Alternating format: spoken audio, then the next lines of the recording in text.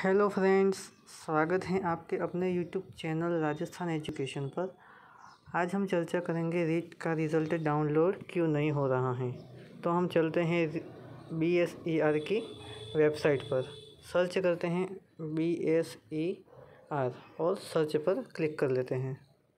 B S E R search करने के बाद हम क्लिक करते हैं board of secondary education Rajasthan पर। यहाँ पर जैसे क्लिक करते तो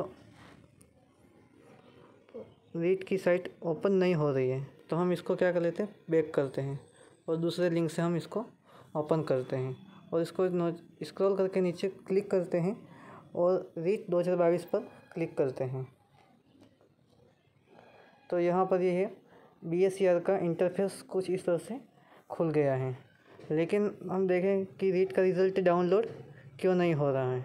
तो डाउनलोड इसलिए नहीं हो रहा है क्योंकि रीट का रिज़ल्ट अभी डिक्लेयर नहीं हुआ है। Thank you for watching this video.